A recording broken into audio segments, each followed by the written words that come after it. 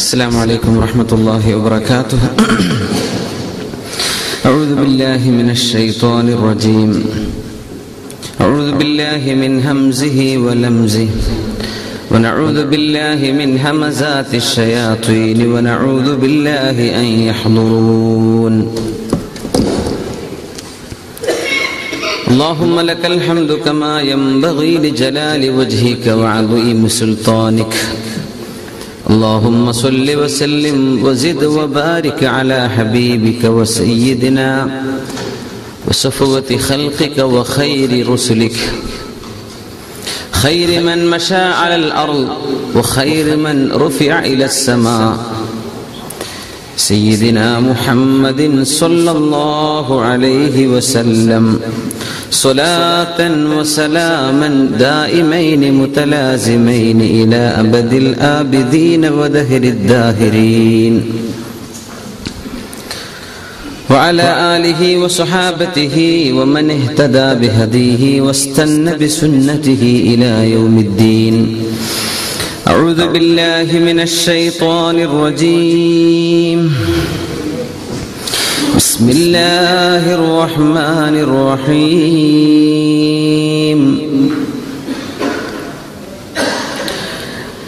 ولولا إذ سمعتموه قلتم ما يكون لنا أن نتكلم بهذا؟ يكون لنا أن نتكلم بهذا سبحانك هذا بهتان عظيم. يعظكم الله أن تعودوا لمثله أبدا إن كنتم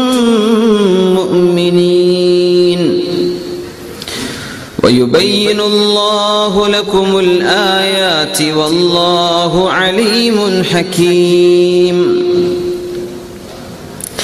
إن الذين يحبون أن تشيع الفاحشة في الذين آمنوا لهم عذاب أليم. لهم عذاب أليم في الدنيا والآخرة. والله يعلم وأنتم لا تعلمون. ولولا فضل الله عليكم ورحمته وأن الله رؤوف رحيم. يا أيها الذين آمنوا لا تتبعوا خطوات الشيطان. ومن يتبع خطوات الشيطان فإنه يأمر بالفحشاء والمنكر.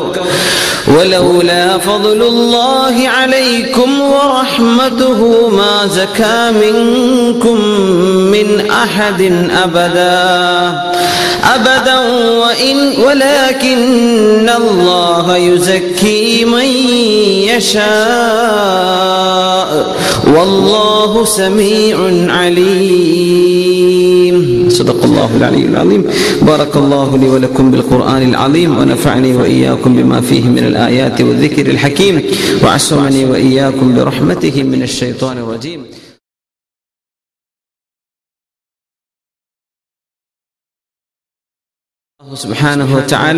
പാപങ്ങൾ പൊറുക്കപ്പെടാൻ നിമിത്തമാകുന്ന ഒരു മജ്ലിസായി അള്ളാഹു നമ്മുടെ മജ്ലിസിനെ സ്വീകരിക്കുമാറാകട്ടെ. നമ്മൾ ഓരോരുത്തരുടെയും നാമുമായി ബന്ധപ്പെട്ട എല്ലാ മുഅ്മിനു മുഅ്മിനാത്തുകളുടെയും രോഗം അള്ളാഹു ശിഫയാക്കുമാറാകട്ടെ. നമ്മളെ പ്രയാസമുള്ള ആളുകളുടെ എല്ലാ പ്രയാസങ്ങളും അള്ളാഹു താല ഉയർത്തി സലാമത്ത് നൽകുമാറാകട്ടെ.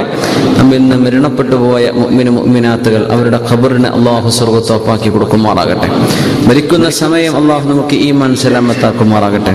അള്ളാഹു മുസ്ലിം ഉമ്മത്തിനെ എല്ലാ ഫിത്തനകളിൽ നിന്നും മാ ലഹറ വ മാ ബത്തൻ പരസ്യമായും രഹസ്യമായുമുള്ള എല്ലാ ഫിത്തനകളിൽ നിന്നും അള്ളാഹു കാത്തുരക്ഷിക്കുമാറാകട്ടെ ബഹുമാന്യരായ മുഅ്മിനീങ്ങളെ പ്രസിദ്ധമായ സൂറത്തുന്നൂറിൽ അള്ളാഹു സാമൂഹികമായ മൂല്യങ്ങൾ നമ്മൾ പഠിപ്പിക്കുന്ന ഭാഗത്താണ് നമ്മൾ എത്തി നിൽക്കുന്നത്.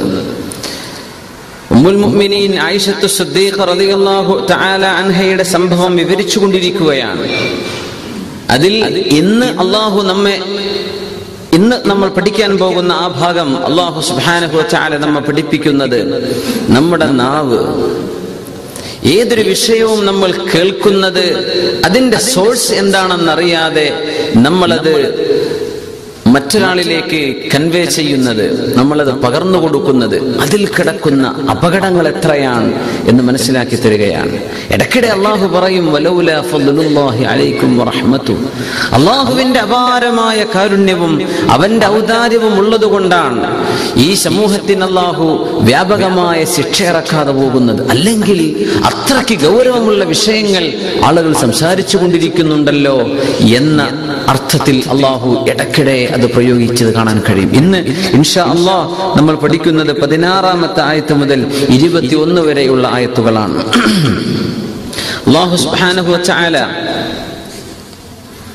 നമ്മുടെ നാവ് അത് കാത്തു സൂക്ഷിക്കാൻ അള്ളാഹു നമുക്ക് തോഫിയൊക്കെ നൽകുമാറാകട്ടെ. സദ്ദീഖുൽ അക്ബർ അള്ളാഹു അൻഹുവിന്റെ നാവിന്റെ താഴെ ഒരു കല്ല് വെക്കുമായിരുന്നു. ഒരു ചെറിയ കല്ല് അത് വായിലിങ്ങനെ വെക്കും. നമ്മൾ എന്തെങ്കിലും വായിൽ വെച്ചുകൊണ്ടിരിക്കെ സംസാരിക്കാൻ ഒരു പ്രയാസം ഉണ്ടാവുമല്ലോ?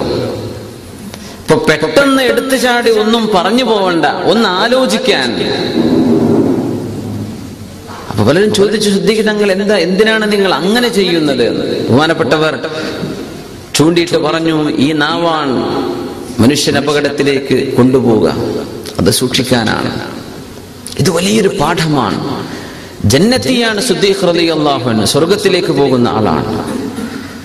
അള്ളാഹുവിന്റെ പൊരുത്തം എമ്പാടും കിട്ടിയ മഹാനാണ്. അത്തരക്കാരുടെ ഒരു സ്വഭാവ രീതി അള്ളാഹു സുബ്ഹാനഹു വതആല ആ സ്വഭാവവുമായി താതാത്മ്യപ്പെടാൻ അള്ളാഹു നമുക്കൊക്കെ തോഫീക്ക് ചെയ്യുമാറാകട്ടെ.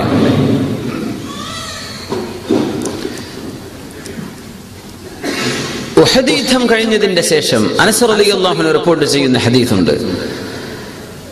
യുദ്ധം കഴിഞ്ഞ് ഒരു സ്വഹാബി വര്യൻ ഒരു ചെറുപ്പക്കാരൻ ഷഹീദായി കിടക്കുകയാണ്. മുഖത്ത് രക്തത്തിന്റെ പാടുണ്ട് മണ്ണിന്റെ അടയാളങ്ങളുണ്ട്. അങ്ങനെ ആ ഷഹീദിന്റെ ഉമ്മ ഇങ്ങോട്ട് ഓടി വന്നിട്ട് അദ്ദേഹത്തിന്റെ മുഖത്തെ മണ്ണൊക്കെ നീക്കിയിട്ട് പറഞ്ഞു ഹനി ബിൽ യാ എന്റെ മോനെ നിനക്ക് ഞാൻ സ്വർഗം ആശംസിക്കുകയാണ്. എന്ന് ഉമ്മ ഈ ഷഹീദിനെ നോക്കി പറഞ്ഞപ്പോ റസൂലുള്ളാഹി സ്വല്ലല്ലാഹു അലൈഹി വസല്ലം അത് കേട്ടുകൊണ്ട് ചോദിച്ചു യാ ഉമ്മ അല്ലയോ ഉമ്മ നിങ്ങൾക്കറിയുമോ അല്ല ഇബിനക് തകല്ലമ മാ ലാ ഔ മൻഅ മാ ലാ നിങ്ങളുടെ മകനെ നിങ്ങൾ സ്വർഗങ്ങളുടെ ആശംസിക്കുന്നതിരിക്കട്ടെ. നിങ്ങളുടെ മകൻ അനാവശ്യമായ വിഷയങ്ങളിൽ ഇടപെട്ടിട്ടുണ്ടോ എന്ന് നിങ്ങൾക്കറിയുമോ? അനാവശ്യമായത് സംസാരിച്ചു പോയിട്ടുണ്ടാകുമോ എന്ന് നിങ്ങൾക്കറിയുമോ? തനിക്കൊരു ഉപദ്രവമില്ലാത്ത വിഷയം. തനിക്കതുകൊണ്ട് ഒരു പ്രയാസമല്ല. പക്ഷേ അത് മറ്റൊരാൾക്ക് ഉപകാരമാണ്.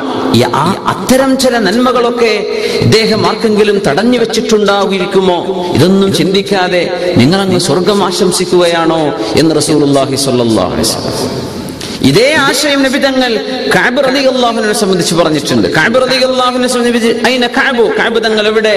പറഞ്ഞു മരീൽ രോഗിയായി കിടക്കുകയാണ്. അങ്ങനെ നബി തങ്ങൾ കഅബ് അള്ളാഹുവിന്റെ വീട്ടിലേക്ക് ചെന്നിട്ട് അപ്പോ രോഗിയാണ്. തങ്ങൾ രോഗിയെ സന്ദർശിക്കുമ്പോ ആശ്വാസത്തിന്റെ വാക്കാണല്ലോ പറയേണ്ടത്. അതാണ് പറയേണ്ടത്. എത്ര വലിയ രോഗമാണെങ്കിലും. ഡോക്ടർമാർ പറഞ്ഞു ഇനി ഒരിക്കലും ഇദ്ദേഹം ഇതിന്ന് ഇത് സർവൈവ് ചെയ്യാൻ കഴിയില്ല. മരിക്കാൻ പോവാണ്. ഇനി രക്ഷയില്ല എന്ന് പറഞ്ഞാൽ പോലും അള്ളാഹുവിന്റെ ഷിഫാഇന്റെ ഖജനാവിൽ മനുഷ്യന്റെ പ്രതീക്ഷ കൈവിടാൻ പാടില്ല. എപ്പോഴും പറയേണ്ടത് ലാബ് സാരല്ല ഒക്കെ ശരിയാകും എന്നാ പറയേണ്ടത്. തങ്ങൾ കാബ് തങ്ങളെ കണ്ടപാടെ പറഞ്ഞു അബിഷിറിയ കാബ് കാബെ അങ്ങ് സന്തോഷിച്ചോളൂ എന്ന് വസല്ലം. അത് പറഞ്ഞപ്പോ വാതിലിന്റെ പിറകിൽ നിന്ന് ഒരു സ്ത്രീ ശബ്ദം കേട്ടു ഹനി അല്ലഖയാ കാബ്. നിങ്ങൾക്ക് സ്വർഗമുണ്ടെന്ന് ആശ്വസിച്ചോളൂ എന്ന് വാതിലിന്റെ പിന്നിൽ നിന്ന് ഒരു ഒരു ശബ്ദം കേട്ടപ്പോ തങ്ങൾ ചോദിച്ചു അതാരാണ്? പറഞ്ഞു ഉമ്മി യാ അതെന്റെ ഉമ്മയാണ് നബിയെ. അങ്ങ് എന്നോട് സന്തോഷിക്കാൻ പറഞ്ഞില്ലേ? അതിന്റെ അർത്ഥം എനിക്ക് ആഖിറത്തിൽ സ്വർഗമുണ്ട് എന്ന് എന്റെ ഉമ്മ മനസ്സിലാക്കിയിട്ട് പറയുകയാണ്. നബി അപ്പോൾ ഉടനെ ചോദിച്ചു യാ യാ ഉമ്മ തങ്ങളുടെ ഉമ്മയെ നിങ്ങൾ അറിഞ്ഞിട്ടുണ്ടോ.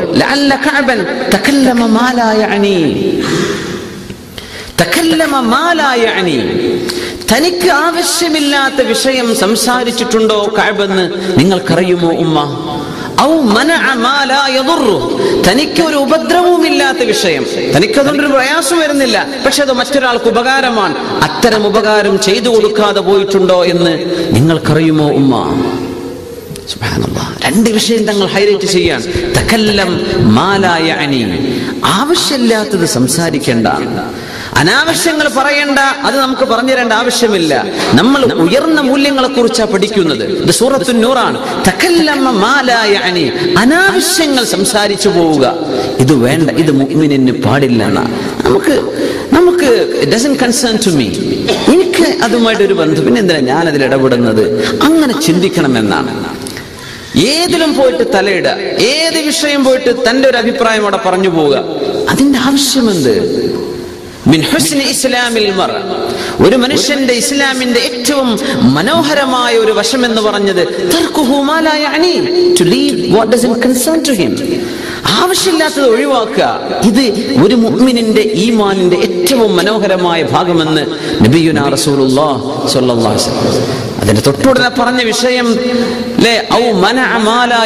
തനിക്ക് ഉപദ്രവമില്ലാത്തത് ഒരു മനുഷ്യൻ തടഞ്ഞു വെക്കുക നമ്മുടെ ചർച്ചയുടെ ഭാഗമല്ല പക്ഷെ നമുക്കിന്ന് പറഞ്ഞു പോകാം